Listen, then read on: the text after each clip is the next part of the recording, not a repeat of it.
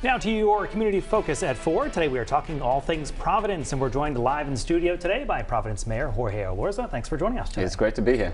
So Mayor, I want to start with the topic of violence that we've continued to see in the capital city. You said back in August to my colleague Matt Paddock, quote, we are safer today than we have ever been. But as of the latest statistics from the Providence Police Department, homicides are up 40% compared to last year, 62% compared to the five-year average. How do you square what you said to what the data shows? Yeah, that's a crazy. So, so uh, let's look at the data. So, what we have in Providence, unfortunately, is a gun crime problem. Uh, but um, when you look at non-crime, uh, non-guns, so you look at robberies, you look at burglaries, those are actually at record low levels. So it's certain kinds of crimes that are up. And I think most people ask themselves, you know, is Providence safe if I if I visit? I think most people ask themselves, you know, what are your chances of being the victim of random crime? And your chances of being a victim of random crime in Providence are lower today than they have ever been. That's the good news. The bad news is that we do have a gun crime problem. And, uh, you know, frankly, we just have too many guns out there on the streets too many people that have lost hope and are turning to violence and to guns to solve their problems and to solve their disputes. And that's something that we're constantly working on. But you know, the way that I think about this, and you know, good analogy is, you know, whenever there's a plane crash, you know, there's it's a terrible tragedy, and you do everything you can to investigate what happened to to make sure that you're safer going forward, and we do that.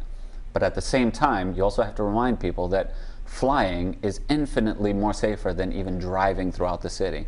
And that's what I want to, uh, to, to, assure people uh, throughout the city and the state that if you come to visit or if you live in the city, your chances of being the victim of violent crime are much lower than, or, or, or gun crime are much lower than if you were driving your car. Mayor, we've been looking at video of um, the police department on a number of, of, crime scenes that we've covered over the last year. The department just graduated 49 new recruits in, yeah. in the latest class. Um, will you propose funding for another 50 in your final budget as mayor? Yeah, that's exactly uh, uh, what we've done. So in my next to last, uh, we put the funding in there for the recruitment of it with the idea that in the next budget, we'll have it in there to not just you know take those recruits and just have them, but to actually train them up and to be part of the police academy. I think that's a big, big piece of it. You know, um, there's the reality of crime and there's also the perception of crime. And you know, the reality is that you know there, there there's no or little connection between crime and your number of police officers. In fact, you look at police officers today, and we have far less than we had 10 years ago, but there was a lot more crime 10 years ago.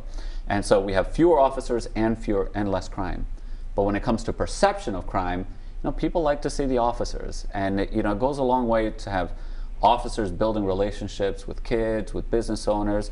It goes a long way to make people feel feel safer and that's just as important the perception and the reality. Uh, on that topic of community relations, um, the City Council is currently reviewing the hiring of your recreation director to that new community relations major position. Where does that stand, and will he be able to uh, assume that role anytime soon? Yeah, so we're working with the City Council, and we hope to have him in this position as soon as possible. And uh, you know, there's been there's been a lot of questions as to you know why a civilian, you know, within within the ranks and you know, I'll, I'll point to uh, Jersey City in New Jersey. They actually hired a, um, a civilian to be the chief of the department. Um, and so, you know, this idea of having a different perspective and a different approach within the police department, I think is, from a policy standpoint, the right thing to do. And, uh, you know, uh, Mike Stevens, the person that we propose, is someone who has long-standing relationships in the community. He's involved in sports and can be a great bridge between the community and the police because everyone will tell you that in order to address the deep challenges that we have, the number one thing, there has to be community trust, right? Change happens at the speed of trust. And uh, that starts with building relationships and you have to, you know, you have to bring, you know, create the bridge and uh, bring those people that can be the bridges into, into the police department that can have those strong, you know, police community relationships develop. Um, I want to talk briefly about Kennedy Plaza. Yeah. Uh, it went through kind of a rehab a number of years ago.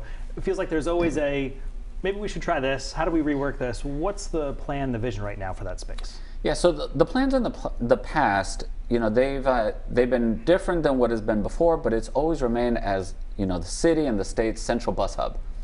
And what we're proposing is to uh, really move it forward from that central bus hub Think about like beautiful cities throughout the country and throughout the world that you know we visit and fall in love with. they always have this beautiful public square, civic center right in the heart of town that brings everyone together. We don't have that in Providence. We've never had that. And what we want to do is create that space. And so that means relocating some of the bus berths, you know, um, throughout the downtown area so it's just as easy or maybe even easier to get around, but creating that space that draws people together. And you know, when you think about, you know, we're living in a time right now where it seems like the forces that pull us apart are stronger than they've, they've ever been.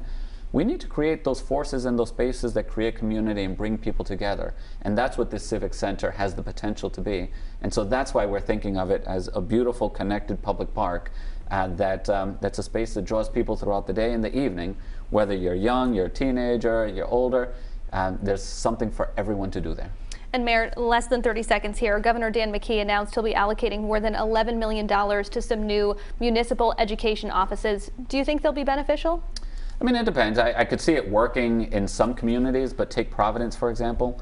We already have a robust network of organizations such as PASA, New Urban Arts, City Arts, that are already doing this work. So creating a, a center would be redundant. Um, and so what I would like to see is just investing in the organizations that are already doing this work here.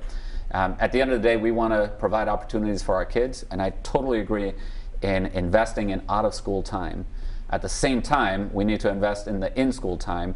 And you know, again, I, I, I have to point out my disappointment with you know, their failure to do something about the teacher contract. We knew it was the linchpin to turning around the district, and the governor threw away the opportunity to do that. Providence Mayor Jorge Elorza, that's all the time we have with you today. Thanks so much for being here. It's great to be here.